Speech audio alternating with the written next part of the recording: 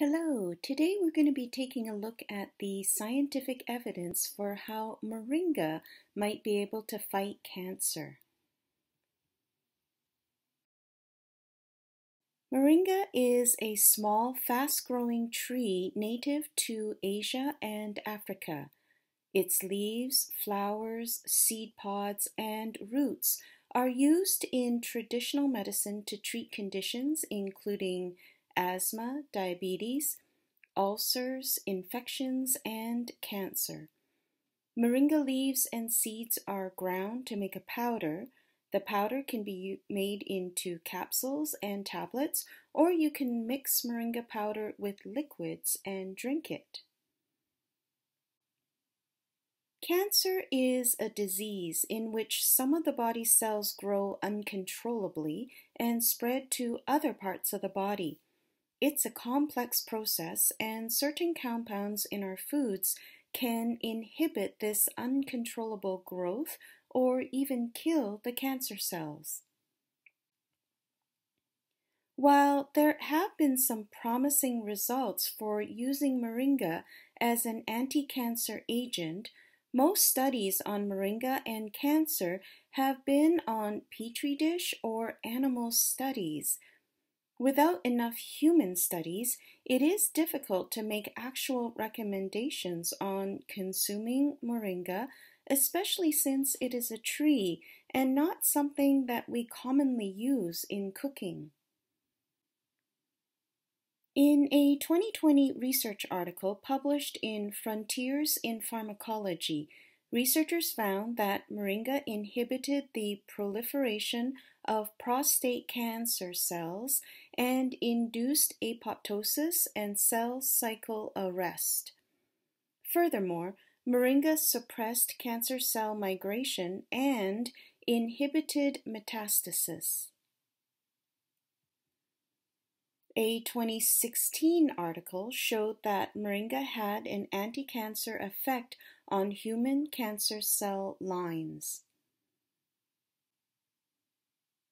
In a 2017 article, researchers found that moringa root rather than the leaves were more effective in inducing cancer cell death. In a 2015 study, researchers found that both the leaf and bark extracts of moringa possess anti-cancer activity that can be used to develop new drugs for treatment of breast and colorectal cancers. In a 2021 study published in the journal Nutrients, researchers found that moringa supplementation alone did induce angiogenesis in tumors, but when used in combination with chemotherapy, it actually worsened tumor progression Therefore, caution should be taken when considering the consumption of moringa seed extracts while receiving chemotherapy for cancer treatment. In a recent 2022 review article, researchers concluded that there is strong potential for moringa to be used as an anti-cancer agent. Also, they found moringa to be safe and that doses up to 2,000 milligrams had no harmful effects. Some of the claims online touting moringa as a miracle tree are based on a high dose that would be difficult for us to consume in food. Most of the comparisons to other foods, for example, the claim that moringa has 12 times the vitamin C of an orange, is based on a 100 gram moringa powder dose. 100 grams of orange is essentially one small orange, but 100 grams of moringa tree powder would be 14 tablespoons.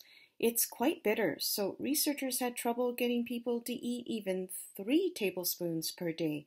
Therefore, if you base the comparison on a more manageable dose, like one tablespoon of moringa powder, then moringa actually has less vitamins and minerals than common foods like oranges, carrots, bananas, broccoli, etc. If you're on medications or are pregnant, definitely consult your doctor before taking moringa. However, studies do appear to show that it is relatively safe and quite healthy to consume, especially in reasonable doses. So, putting a teaspoon in your smoothie once in a while appears to be a positive thing to do. I hope you found the information in this video useful. Please give us a thumbs up and subscribe. Thank you.